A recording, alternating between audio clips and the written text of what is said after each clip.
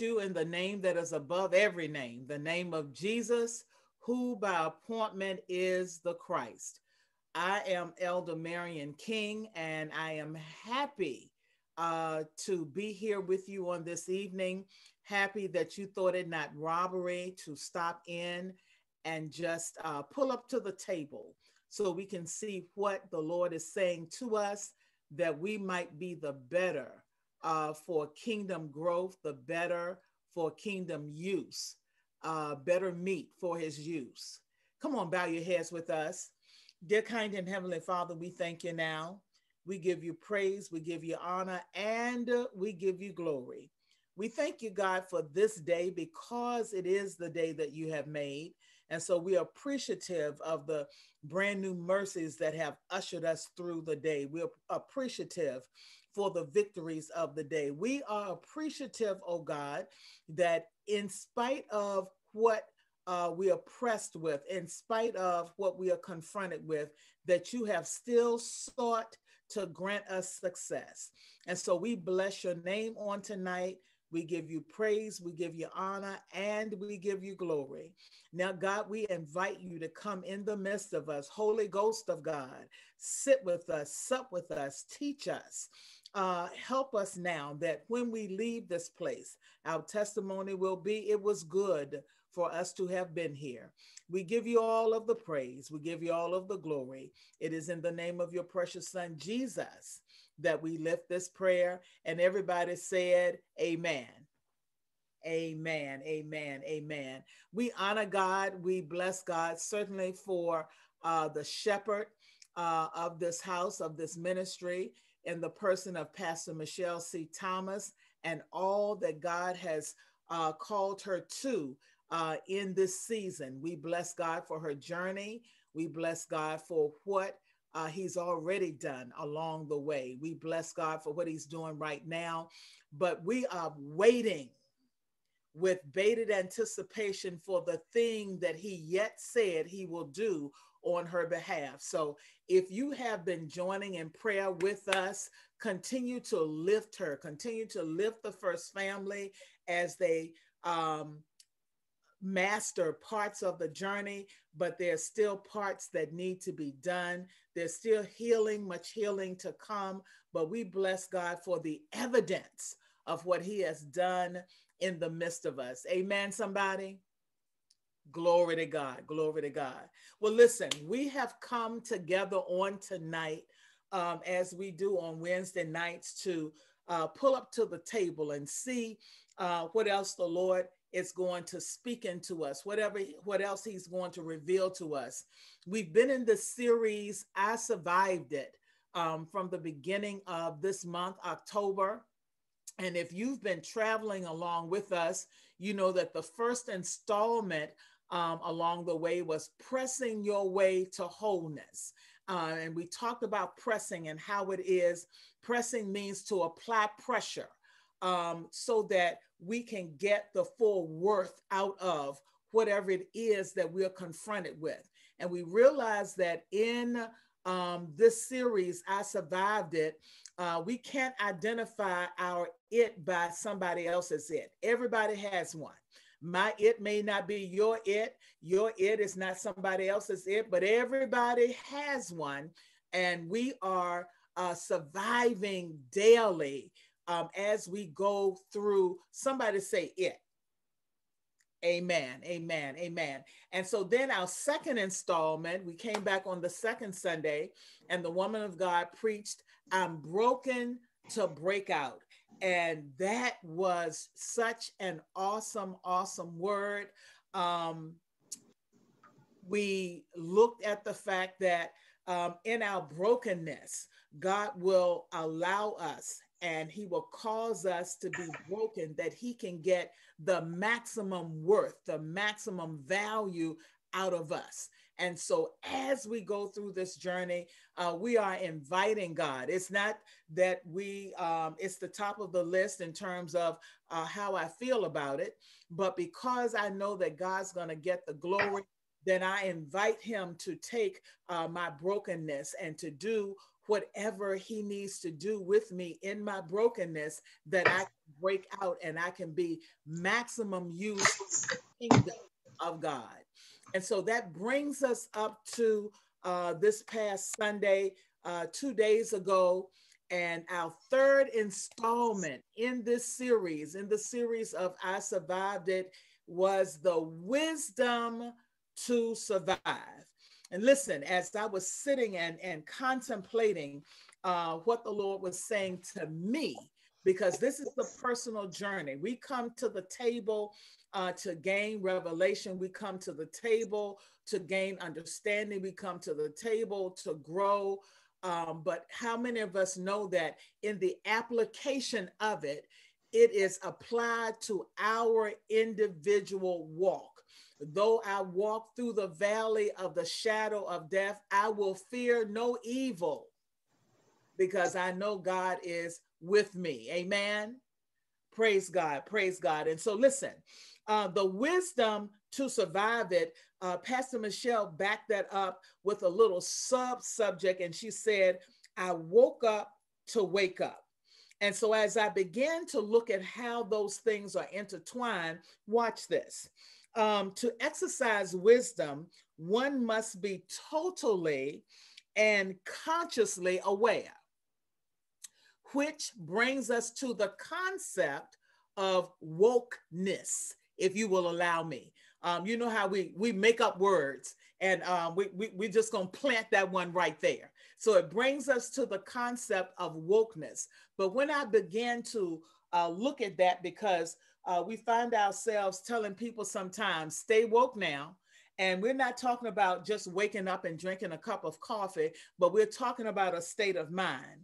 And so I wanted to get um, some information where, that you could write down um, with reference to this. And so I went to the Urban Dictionary.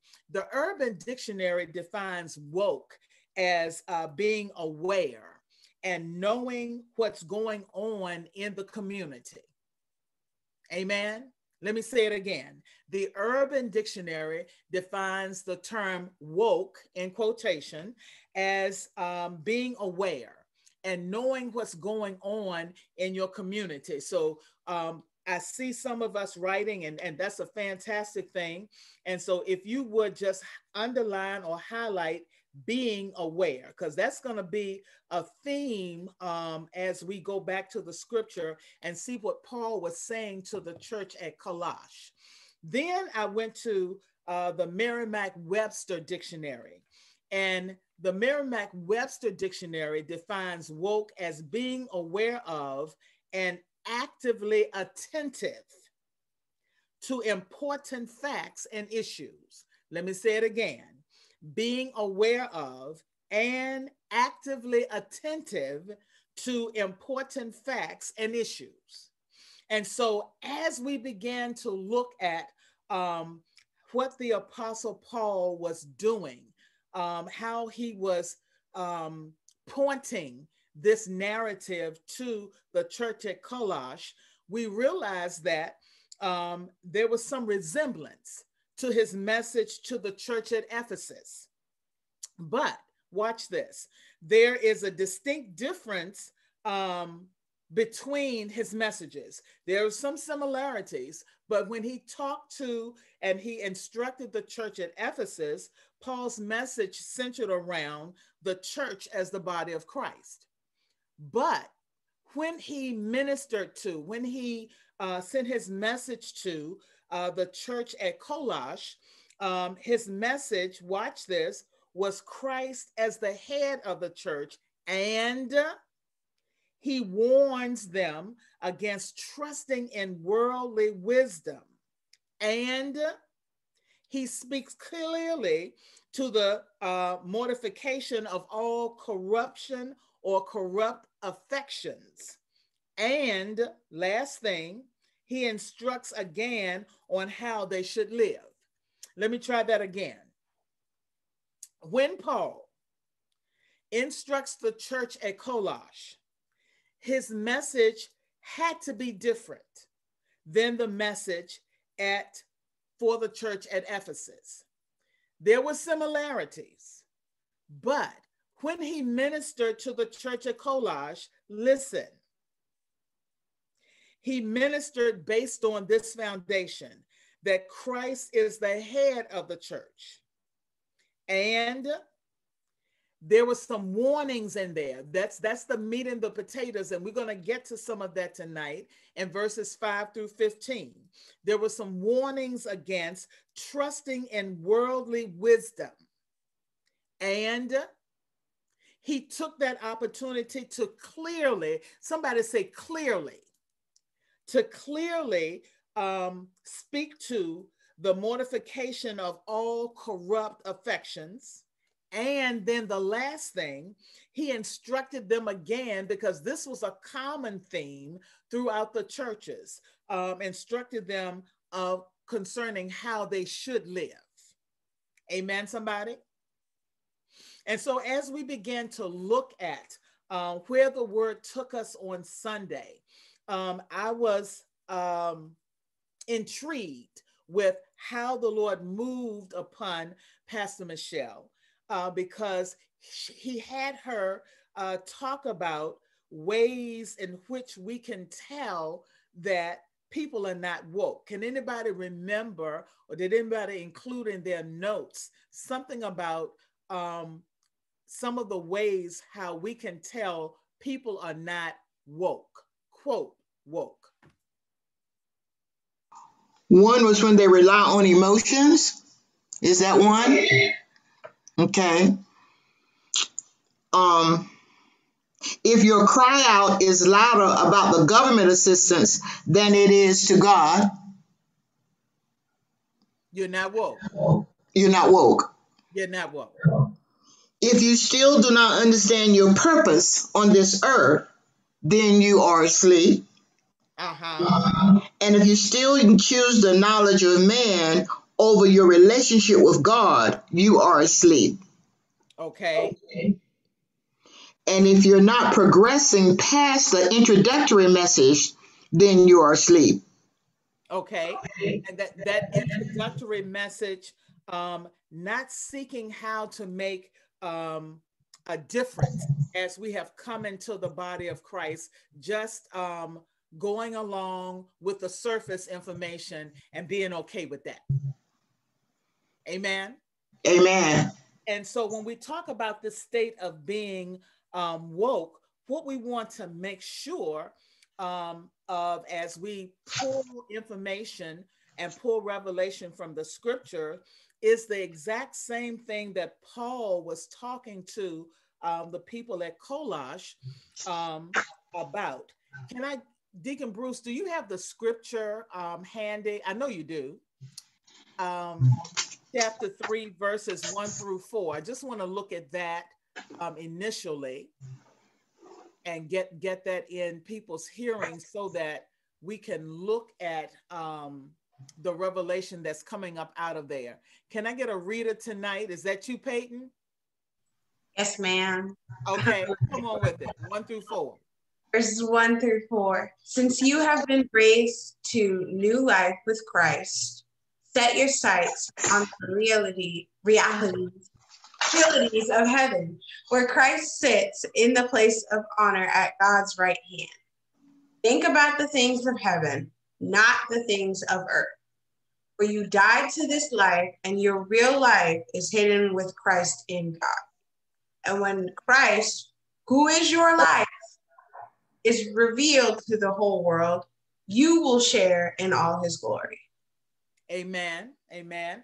And so that's an excellent prelude um, to the information that's forthcoming in verses um, 5 through 15. That's that's a good introduction. It's a good warming up of the people to remind them of who they are and what has happened in their lives. And because of what has happened in their lives, um, who they are destined to be if they remember uh, a few things. Anybody want to go into their notes and talk to us about the information in verses one through four, something that stood up in your spirit as uh, the word was going forth on Sunday?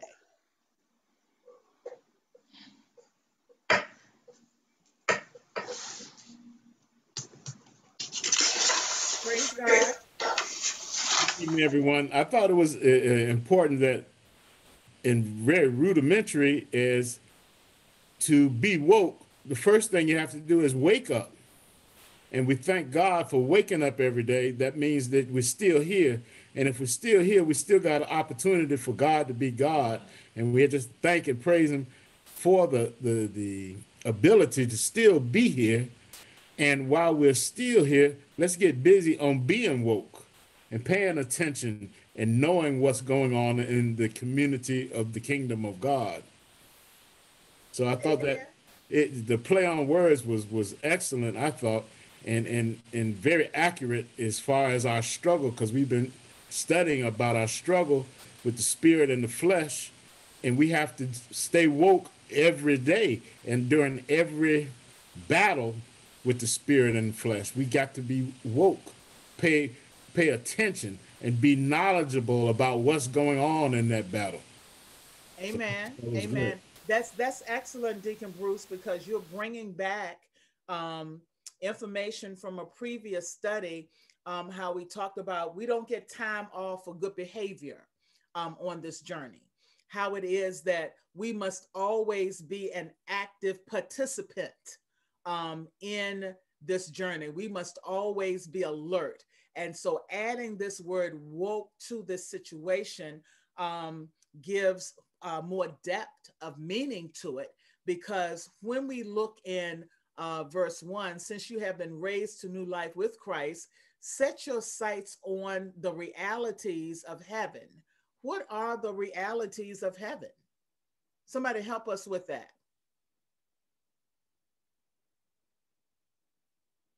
Come on now, don't be shy. You know how we do. Well, we go beyond what we can physically see because that's man, that's human, that we are confined, that's a confinement. And we go beyond that and we know that the realities of heaven is that our ultimate place or our ultimate struggle, our ultimate goal is to be with God. So we do the things that the word tells us to do, and we help to pull others to do the things that the word tells us to do so that we all can get to that place to be with God. Amen. Amen. You right there. Um, anybody else want to jump in right behind Dr. Deans? Good evening, Elder. Um, good evening, family. I'm good, thank you. Um, just in reflecting on the realities of heaven, I think that as you study, particularly from um, where we were in terms of understanding and, and getting wisdom, I think um, it's important to always understand that heaven is achievable and attainable, um, and it's a real place. And I think that this particular word, I think, was was trying to not caution, but was trying to encourage us to consider, you know, in, in terms of our salvation, in terms of our growth, in terms of our walk. Um, in my mind, I, I, I interpret it as you always have to consider heaven and consider it as a goal. So heaven always being the goal in that, you know, you, you'll be welcomed home and, and because you've not just accepted Christ, but because it's a real, it's a real thing to attribute. And, and that it's just like God, like God is real. He's ever present. He's omnipresent. He's always there. And so heaven um, as a reality is that it is it is actual and factual. And so if you set your if you set a goal to achieve that to attain that to get to heaven then that then to me it would logically follow that you will do the things on earth to, that require you to get there. And the things on earth that require you to get there are to be obedient to study the word to live right to love um, your neighbor to do all the things that god commands us to do um, so so when you ask about the reality for me the realities of heaven for me mean the fact that it is real that it is attainable um, if i just do my part Amen. Amen. Thank you, Deacon Janine. Anyone else want to jump in? And as we go through our things here on earth, we expect to have our it that was referenced. All of us have our its, but we should go through those it situations pressing by using the word of God to get through them. Amen. Amen. Praise God. Are you coming in, Deacon Bruce? Yes. I, I, when you said the realities of heaven, something dropped in my spirit and said, I have given you a procedures and a process. And we talked about the precepts of God and the precepts of God and the process that we have to encounter and the instructions. We again we've been learning about God is intentional and he's strategic in everything. He gives us the recipe for heaven. Heaven, he gives us the victory in heaven, but he's not going to make that overcome us. He, he gives us our own free will to accept it. And once we accept it, then he will he makes sure we have the information available to to access heaven, to access the victory. And and and God is the only thing that's fair in life. He said, "Ask and it shall be given. Knock and the door will be open. And seek and you will find." But if we don't do that, then we won't realize heaven. But the process is there, but we have to apply the energy and the effort to get there. And he is not a respecter of person that we, we're learning and understanding that everyone in his kingdom must go through the process to get to the goal. Therefore, everyone has an it to overcome. Amen. Amen. And so, listen, um, another uh, version says, So live for what is in heaven. In other words, um, we have this new life. And since we have this new life, uh, we literally are passing through uh, this place where we are. This is this is a um, an assignment. It's a it's a temporary place. It's a holding place so that we can get our assignment done um, while in this form. But our real home and our real um, okay, I see um, brother Jerry. Um, our real home and our real connection is um, in heaven and the realities of heaven would then be um, those things that heaven actually represents. What's in heaven? What do we know about uh, this heaven that we seek, this place where we want to go, this place that once we claim Christ as our Savior, we know um, is our heavenly um, home. So Let's see, Brother Jerry says, I see this as speaking to sanctification and purification. Okay. And so, Brother Jerry, I'm going to need you to come on in. Um, if you can get in here and, and, and talk to us a little bit about that, expound on that. Because as we begin to look at the realities of heaven, yes, uh, sanctification, purification, yes, uh, what's actually in heaven and the fact that we are connected to that. We are not, we are no longer connected to uh, this world. This world is not our home. And so, what we want to do in this new life, now that we've been raised to new life in Christ, is we want our focus to be on our new home and the precepts uh, that govern us because we are connected to this new home this home called heaven. And so that in and of itself, and knowing that in our true home, Christ is sitting um, at the right hand of the Father, making intercession for us. When we think about it, when we think on it, um, it should give us, uh, it should encourage us right where we are to uh, stay aligned with on a daily basis, uh, have our prayers lined up with, um, have our desires lined up with, have our speech lined up with, have our walk lined up with the realities of our real home, as opposed to um, putting ourselves in places or allowing ourselves to be pulled into places that cause us to trip and, and to slip and to miss um, step along the way to land up in the potholes of life when um, there are some things that we can't avoid simply by remembering who we are and whose we are and keeping our sight where it should be focused. Now we're all we all have a it. We heard uh, Minister Dean say that, and we this is true. We heard Pastor Michelle say it. This is true. We all have an it, but I'm talking about ending up in places that we know don't glorify God, that we know don't connect us to our real home. Amen, somebody? And so, as we continue to read through verses two, three, and four, verse two says, Think about the things of heaven, not the things of earth. And so, as I was reading, I looked at the King James Version, and the King James Version says, Set your affections on things above.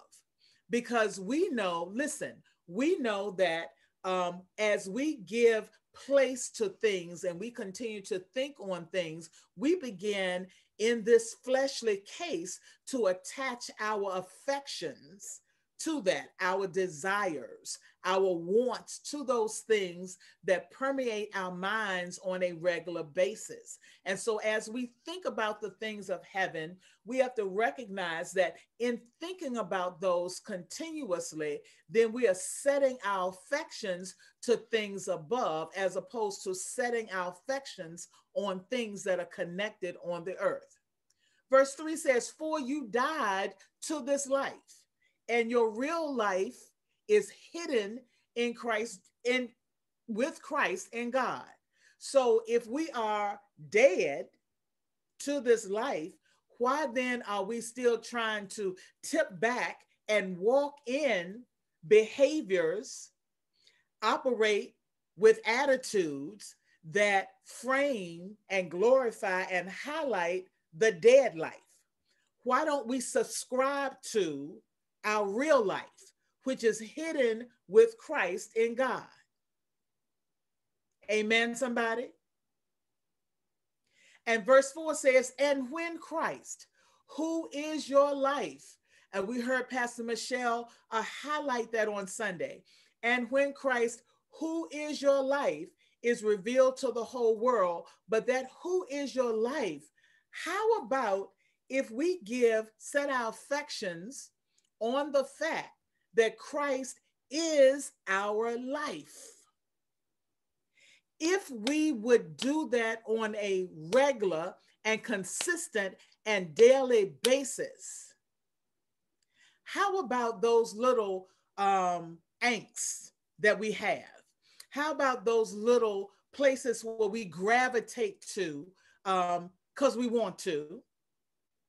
It doesn't. It doesn't have to be, and it's not um, it's not prescribed in the given test, but we just, it's a place of comfort. It's a place where we have some comfortable memories. And so we gravitate there. But how about if we set our affections on the fact that Christ is our life? Then do those behaviors, then do those conversations, then do those things that we gravitate to willingly glorify our life because our life is Christ. Amen. Come on, uh, Deacon Camille, are you there? Amen. Amen. Yes, ma'am. Hello, come on in.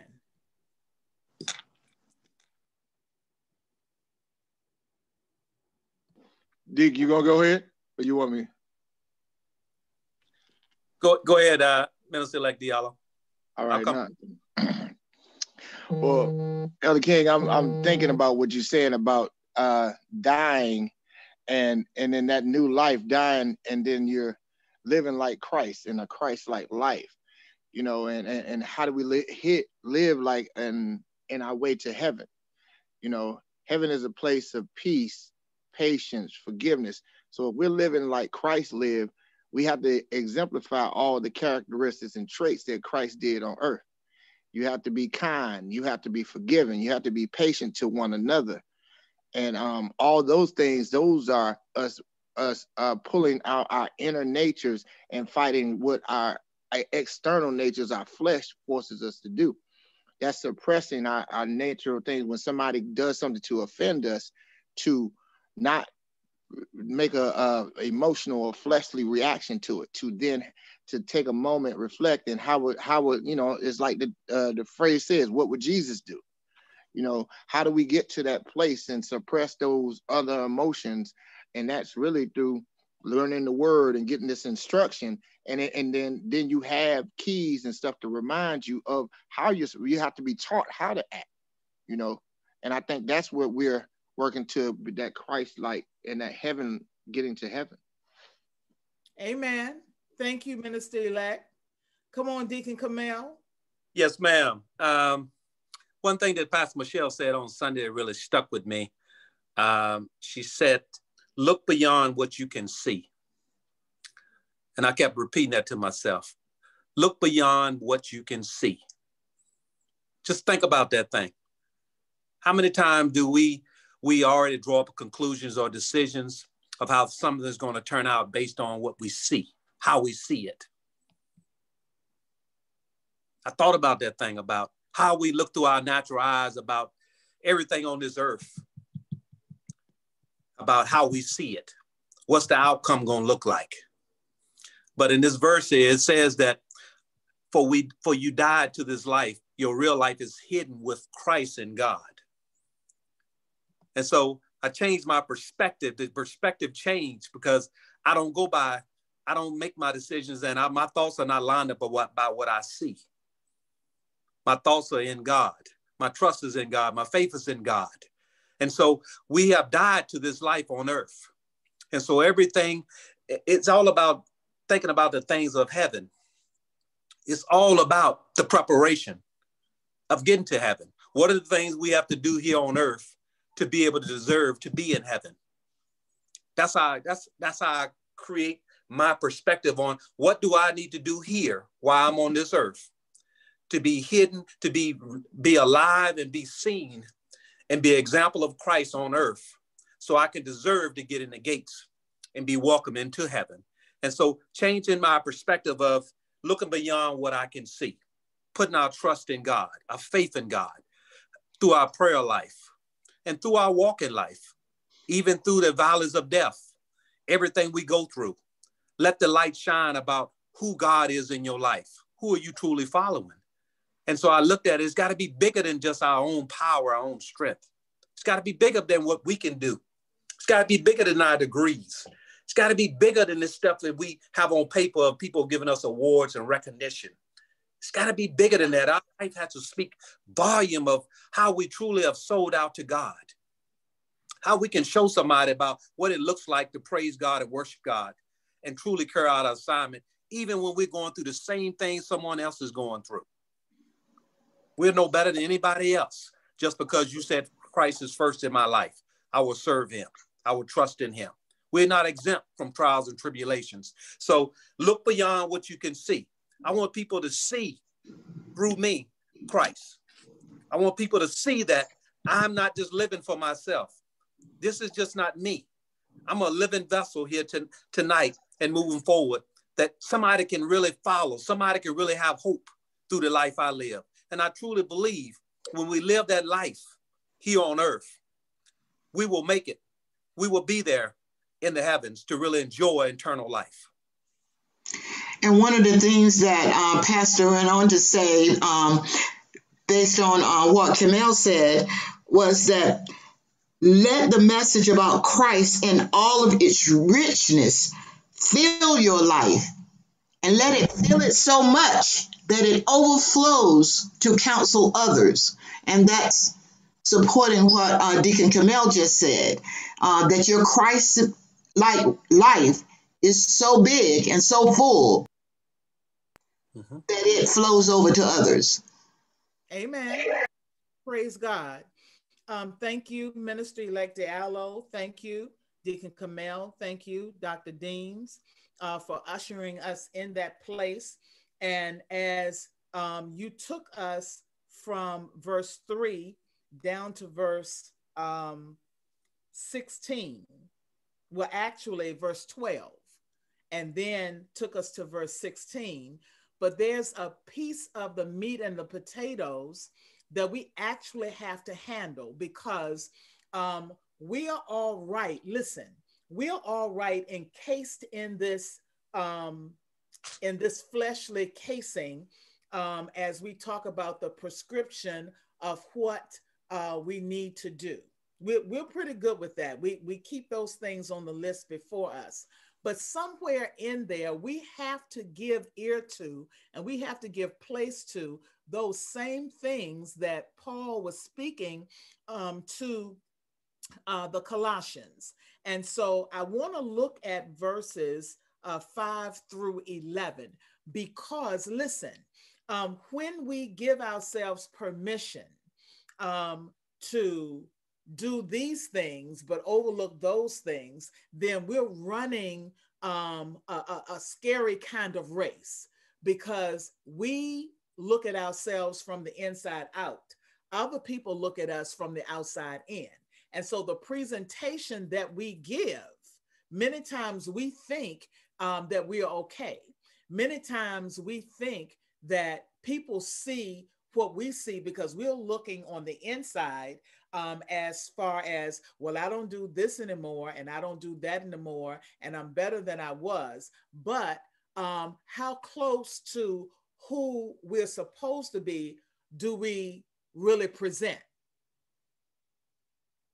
Amen, somebody? And so when we look at, listen, verse 3 says, For you died to this. Um, in the King James Version, um, the scripture says, For ye are dead, and your life is hid with Christ in God. Uh, in the New Living Translation, for you died to this life, and your real life is hidden with Christ in God. Paul found it necessary to deal with the Colossians about their behaviors because there were some behaviors going on amongst them that uh, Paul says should not be named among you. And so when we get um, down to verse five, watch this. If verse three declares that for you died to this life, then verse 5 ought to be our reality. Uh, verse 5 says, So put to death the sinful earthly things lurking within you. Because Paul was uh, ministering to, and he was teaching, and he was he was sending information to uh, this people who uh, basically uh, were a good people. They had a lot that uh, could work for them on the surface. However, there were some underlying things that going on that God could not get glory out of. How can you say um, that you are dead to this life when you're trying to preserve those things that um, massaged your thoughts, those things that um, gave credence credence to um, you being or feeling satisfied when things weren't going well. You gravitated to these things because they made you feel better. So, how can we give ourselves permission, listen, to pick up dead behavior and try to connect it to the life that we now have in Christ? So, put to death the sinful earthly things lurking within you have nothing to do with, listen, have nothing to do with sexual immorality, impurity, lust, and evil desires. And so these are the things that people don't like to talk about because these are the things that uh, we can keep hidden these are the things that we don't talk about in public. We don't want folk to know that um, that that still has a place in my heart. It still has a place in my behavior. It still has a place um, in, in in that area that makes me feel good. Because if it makes us feel good, we don't consider it evil. If it makes us feel good, we don't consider it lusting. If it makes us feel good, we don't consider it immoral or impure. But how about if, listen, let's go back to what the word says. The word says, For you died to this life. And so, if all of those behaviors, all of those attitudes, all of those things are things that satisfied us before we were dead to that life.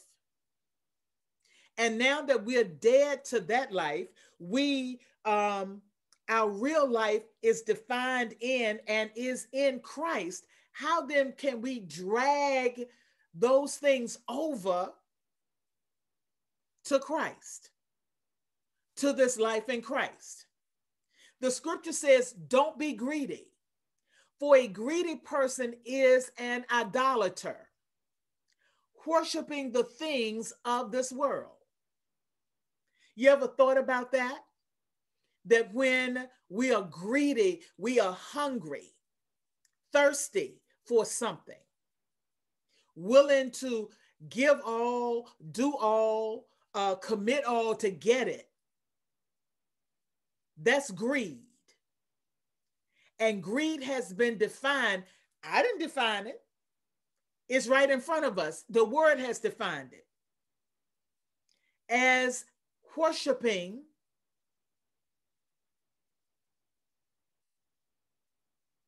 Amen. Making it a God.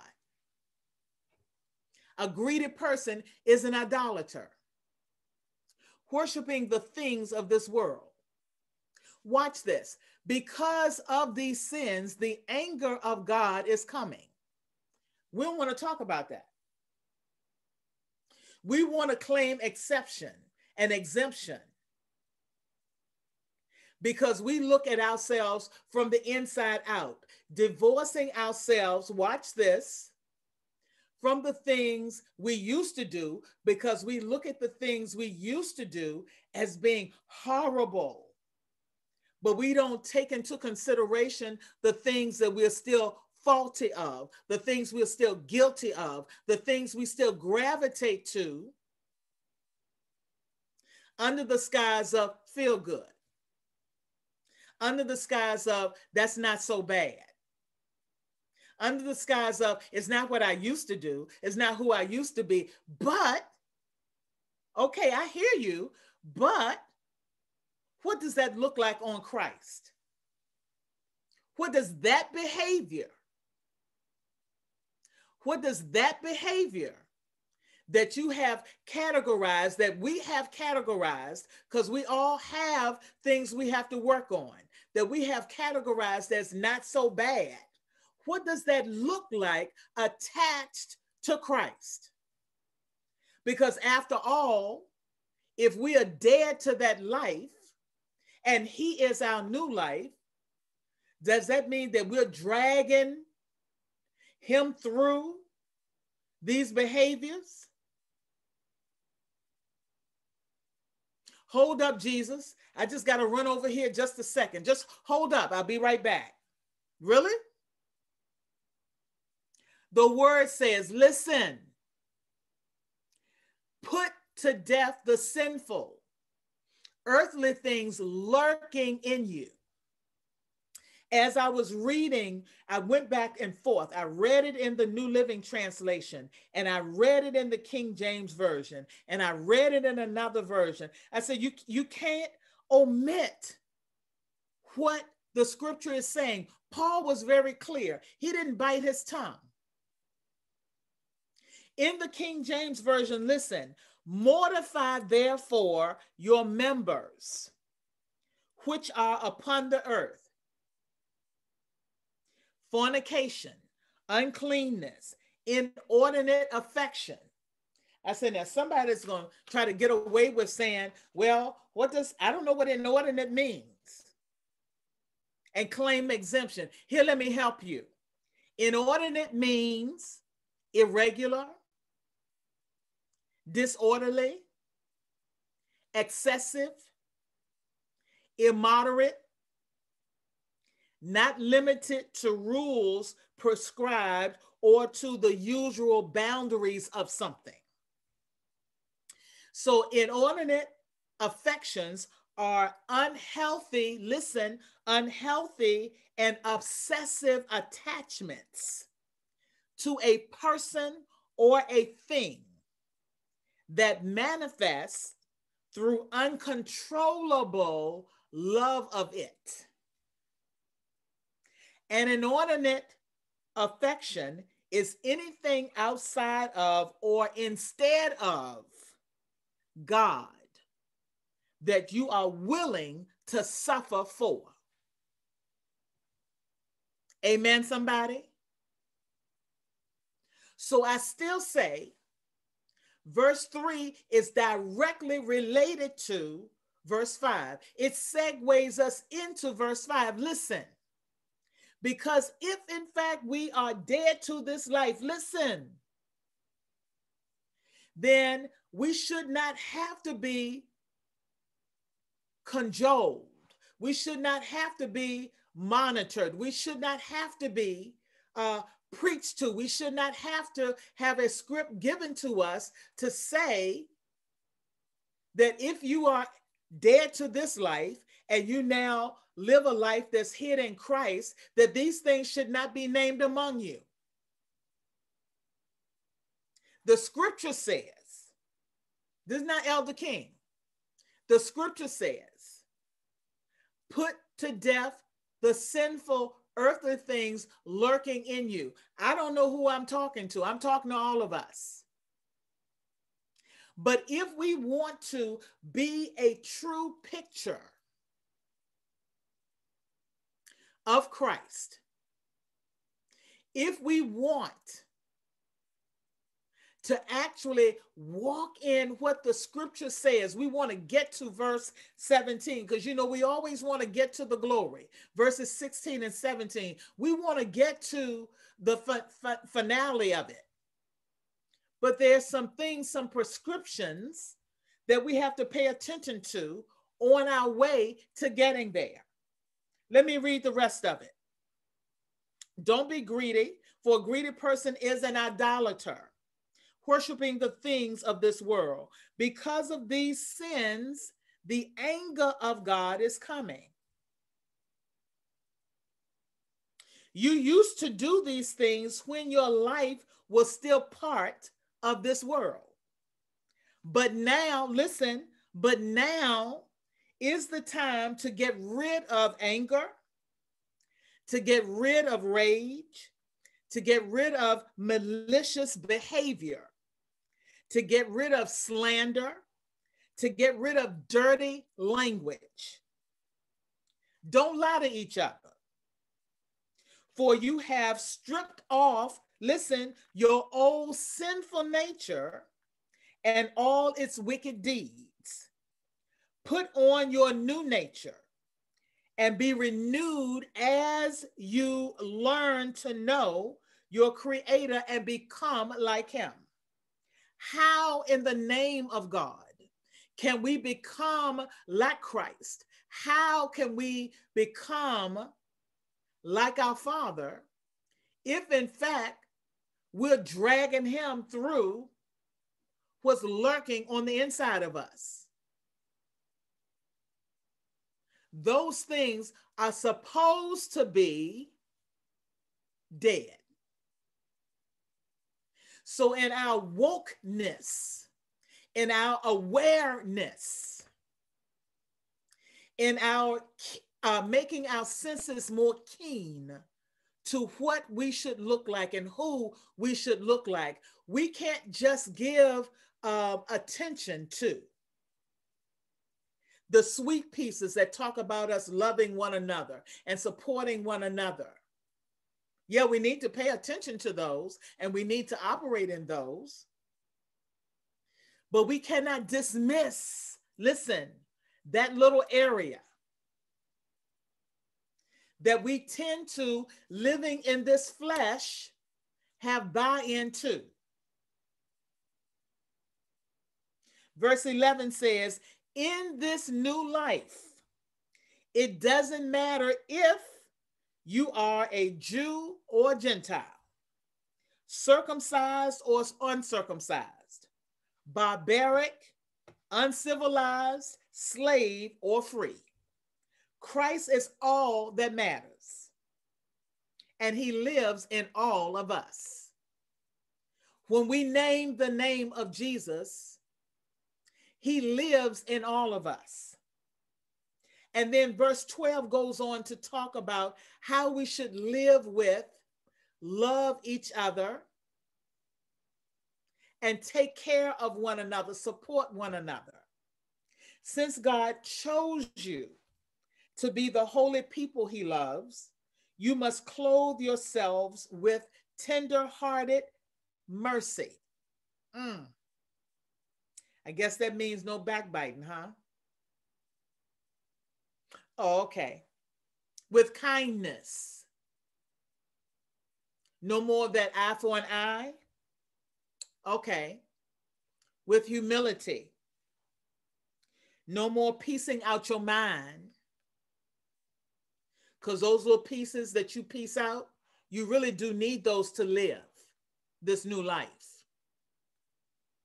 Gentleness.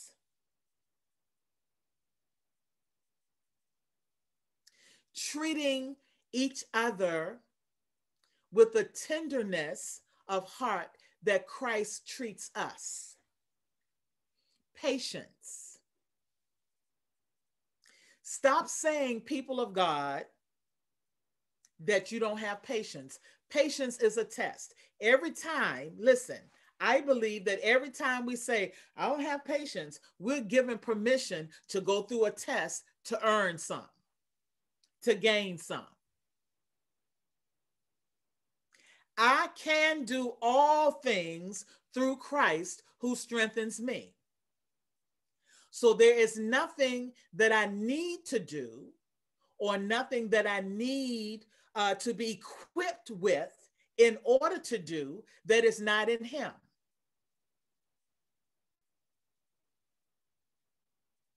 And so I believe a better way to say that is I, I, am better than I was.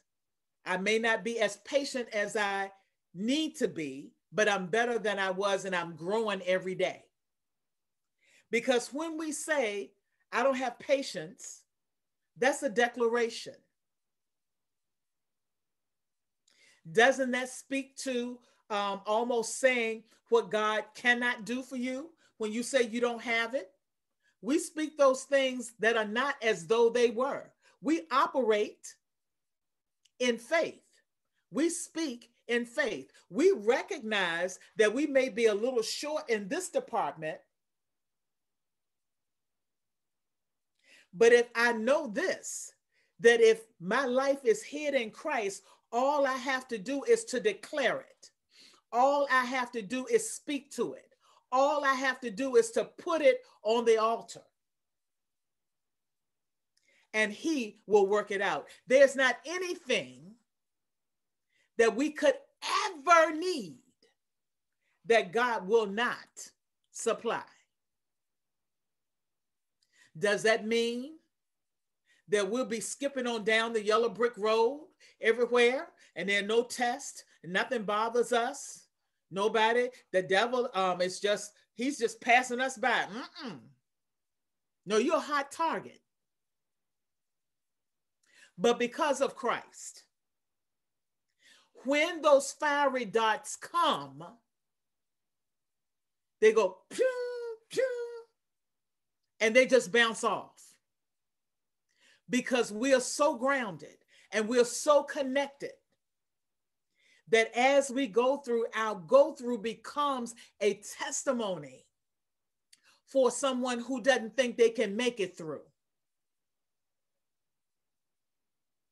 Amen, somebody? And so, watch this.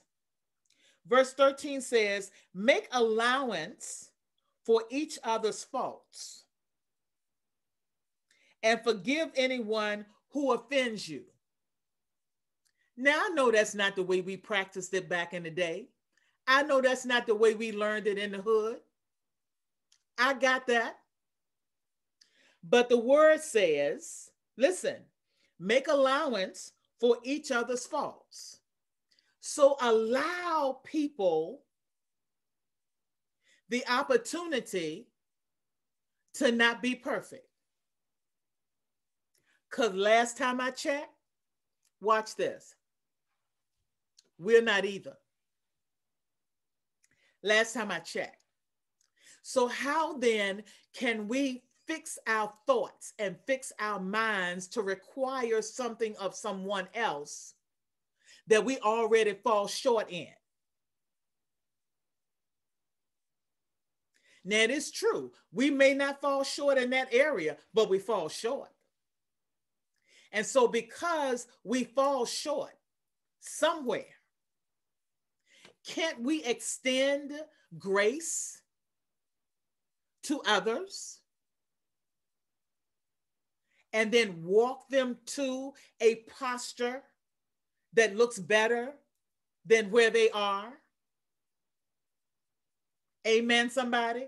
Thank you, Dr. Deans. We all fall short. I heard Pastor Michelle. I have an it, you have an it, she has an it, he has an it. We all have an it to survive. Amen. Verse 13 Make allowance for each other's faults and forgive anyone who offends you. Now, I know that's a struggle. Because back in the day, we just go ahead and take our jewelry off and go, go ahead and disrobe, take the heels off, get the job done. And then when we're done, you know, we go ahead and put it back on and go in and walk through.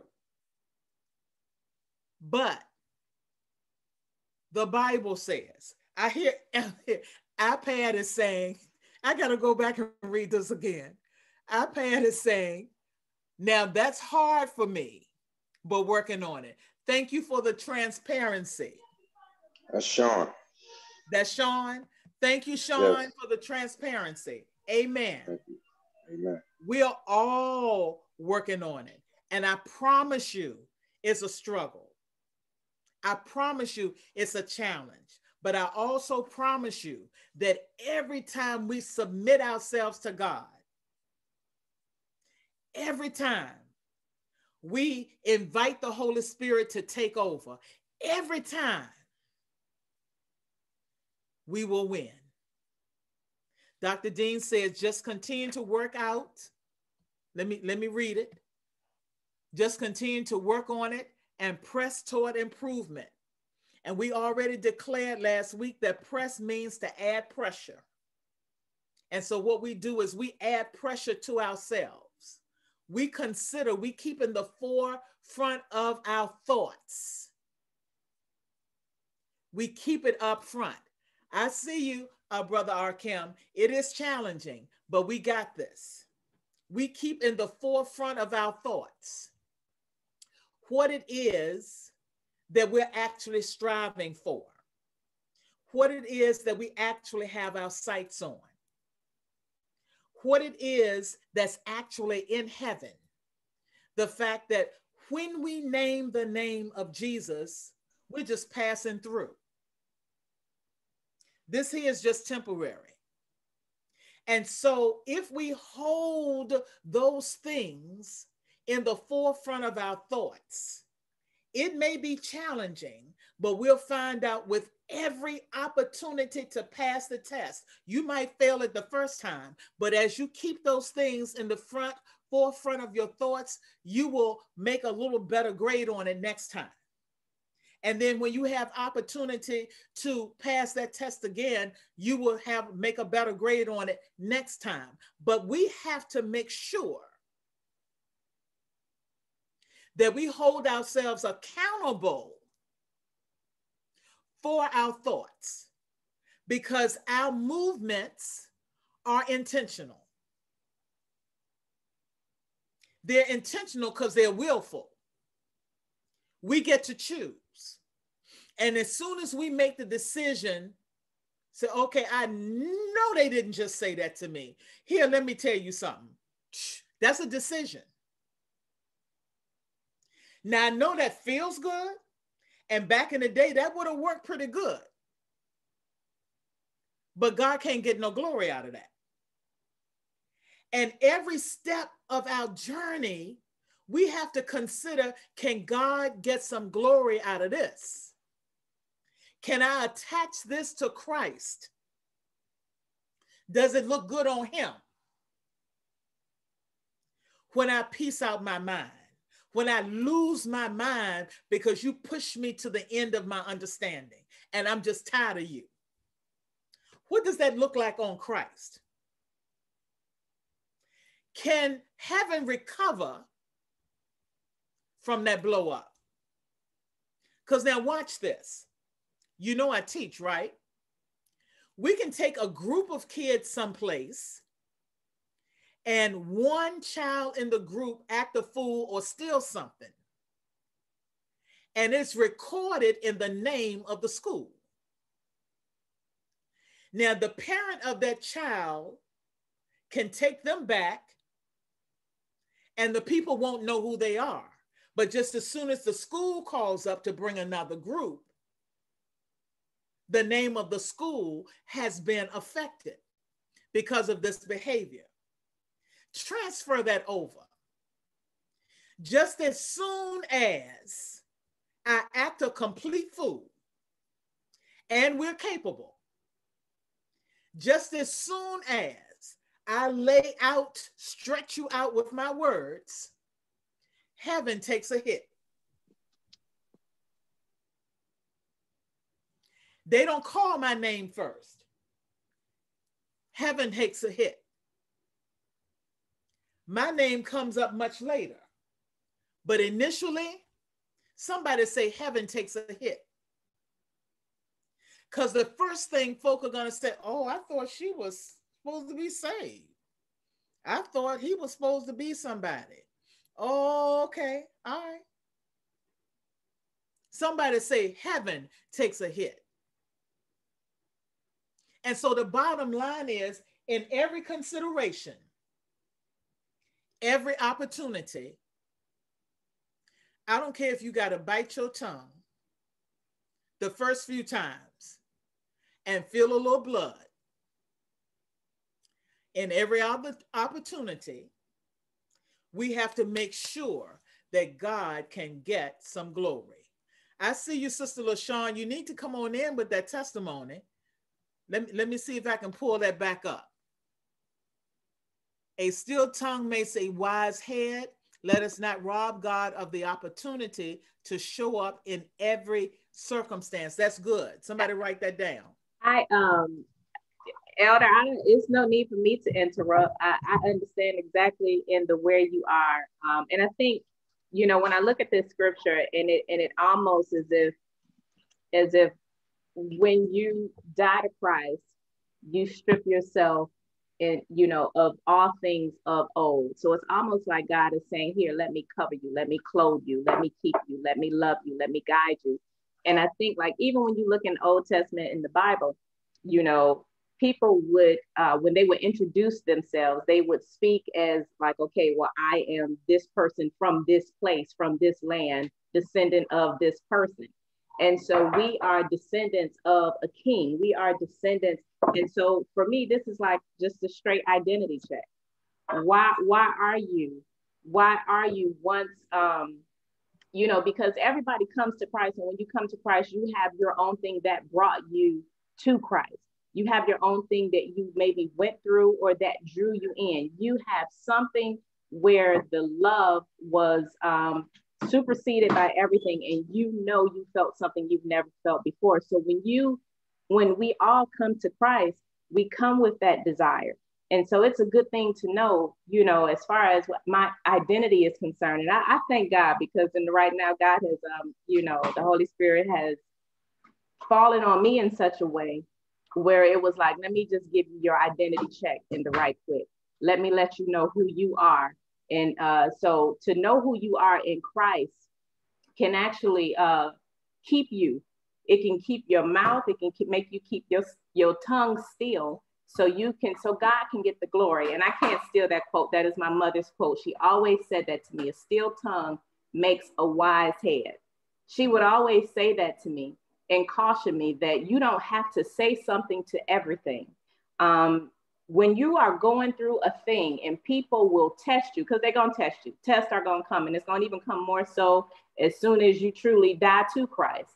But when you do that um, we don't want to rob god of the opportunity to show up in the places that are most difficult for us. If it's your mouth if it's your fist if it's how you handle a thing uh, my mother also says you can uh, you can whoop somebody with that that pink tornado in your mouth so you don't always have to fight with your words. Um, there, there are more ways in how we can cause destruction that does not uplift the kingdom, that does not, it rob God of the opportunity to just show up in the circumstance. And so when we forfeit that, what we're doing is we're changing not only our language, but our behaviors as to say, um, it's almost like you're reprogramming yourself. And before you know it, you learn a new response you learn of, um, to be more tender. You learn to care a bit more. You learn to be forgiving. You learn not to carry the spirit of offense because you don't necessarily know. Um, maybe someone didn't craft their words as well. So I don't need to add nothing to what you're doing. This is this is excellent. Well, this bless his name. I, I, I just grabbed something that you said. Uh, the spirit of offense um, people in in the in the day would call it um, carrying a ship a chip on your shoulder. And so we have to be mindful.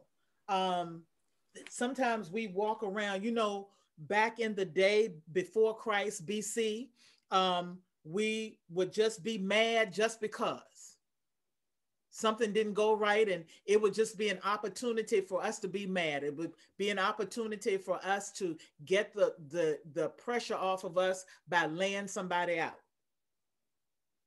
But now that um we our life is hid in christ now that he is our life we ought to seek every opportunity for him to shine not for us to get the glory, but for him to shine. Because when we think we're getting the glory, we're actually adding shame to the kingdom.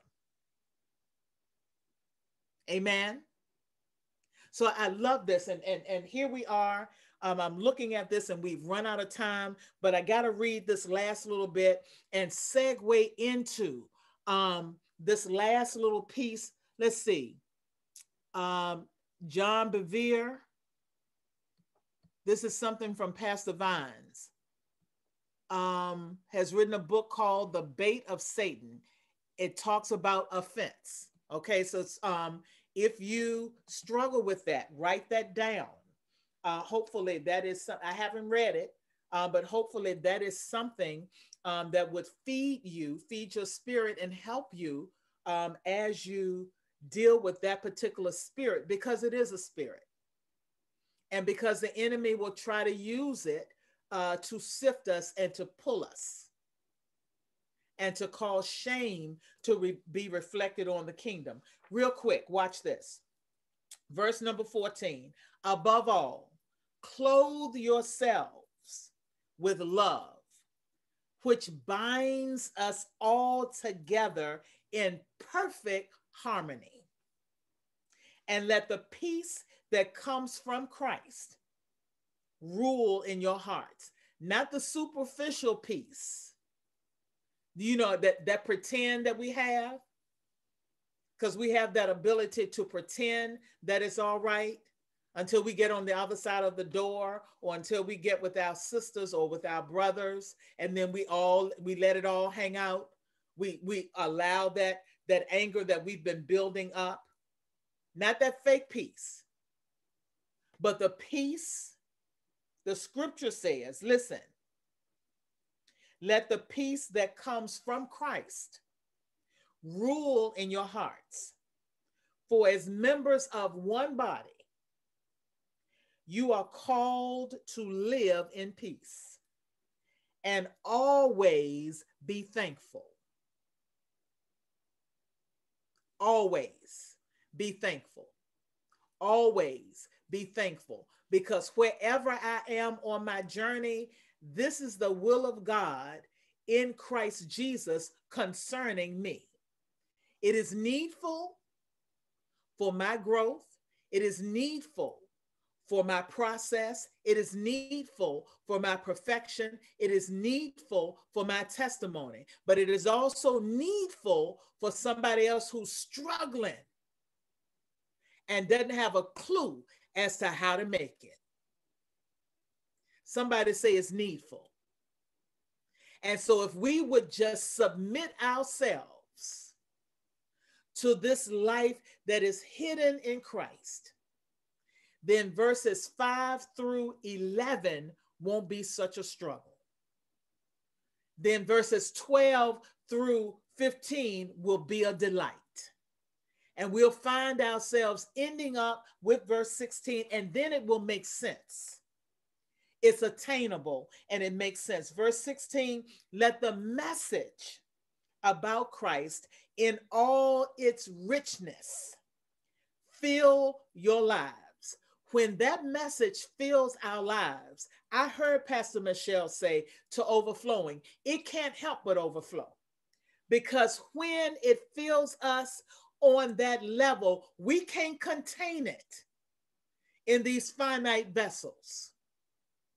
And so it's going to fill us to overflowing. Deacon Bruce, you can let me have the screen now. Verse 16 says, teach and counsel each other with all the wisdom he gives.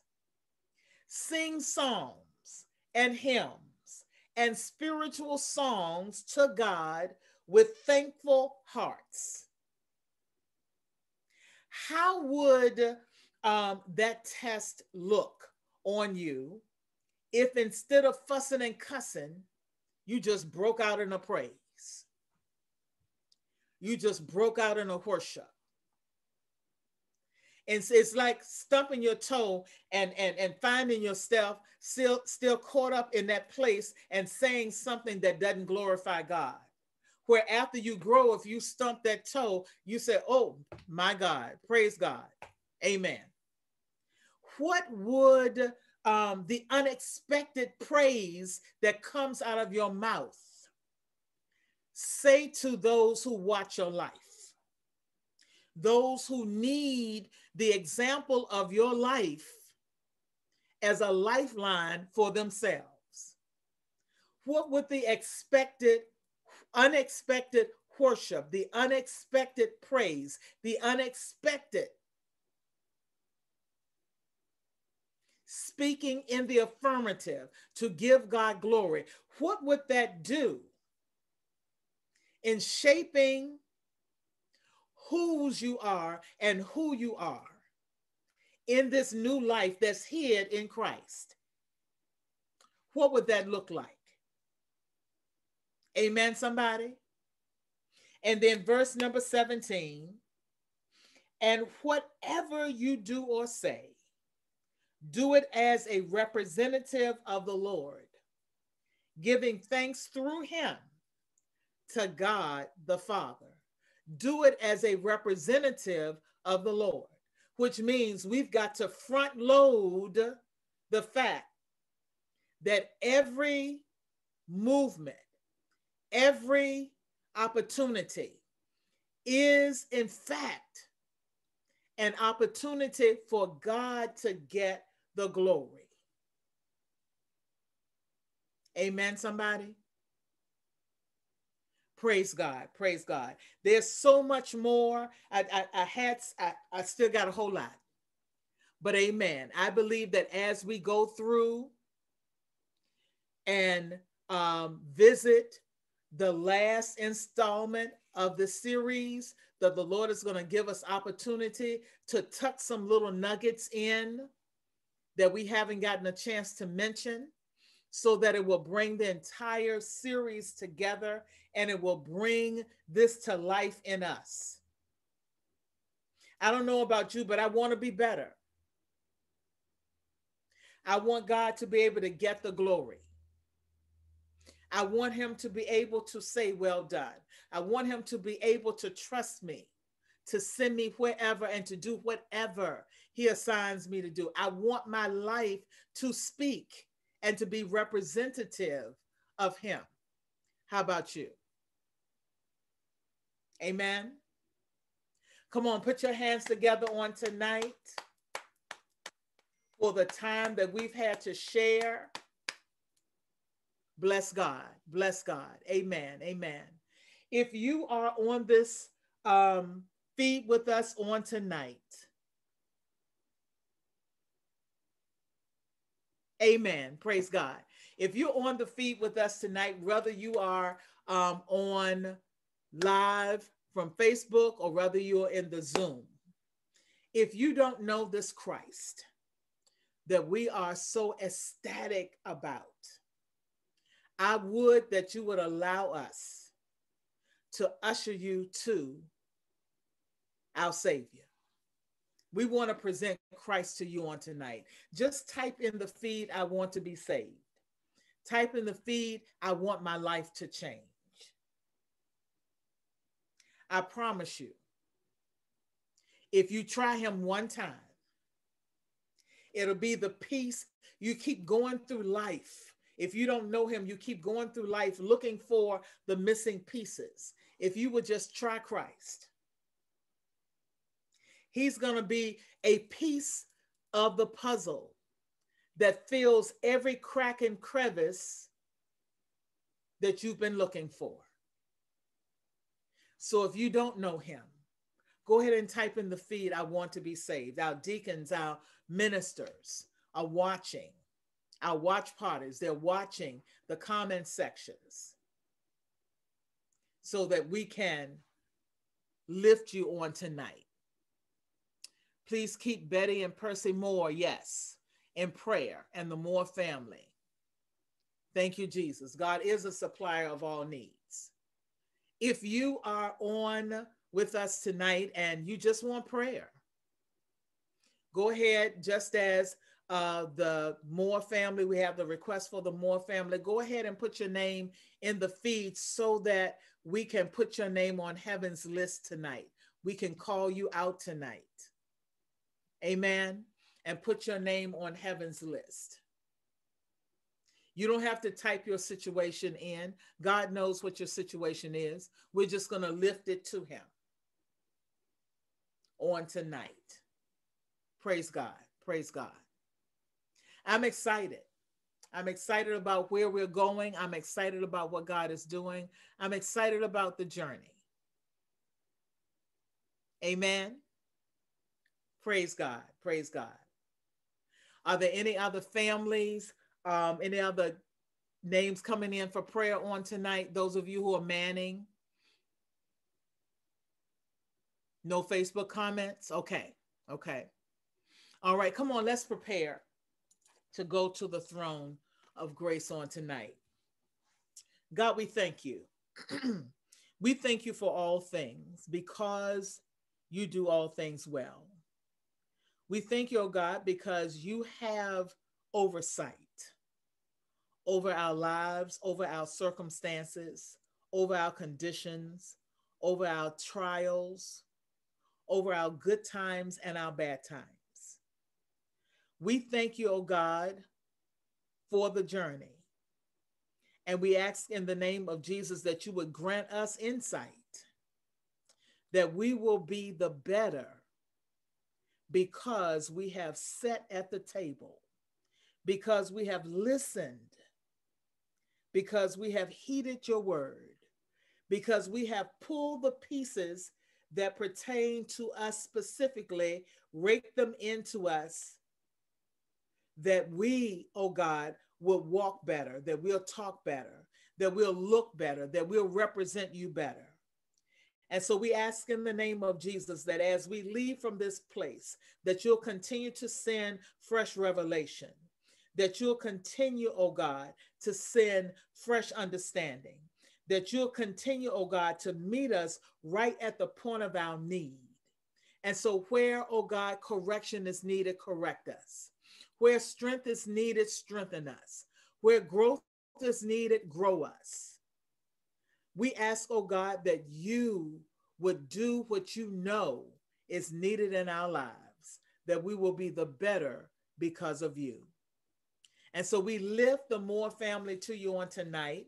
We lift the Thomas and the Campbell families to you on tonight. We lift all of the families of Holy and Whole to you on tonight.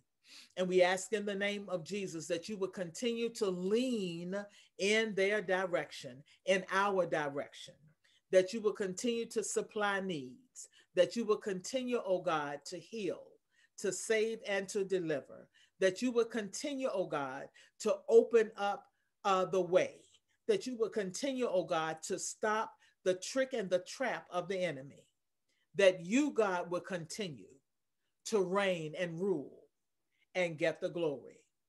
Now we lift you on tonight. We magnify you. We praise you. We give you all of the glory. We count all things done as we lift our prayers in the name of Jesus. And the people of God said, Amen. Praise God. Praise God. We are happy about you being with us on tonight. We're lifting uh, the Gibsons on tonight. We're lifting Rayetta McGee on tonight. Amen. We're lifting all of you, putting your name on heaven's list. Now, listen, we have prayer teams that pray throughout the day um, at 5 a.m., at 12 noon, and at 8 p.m.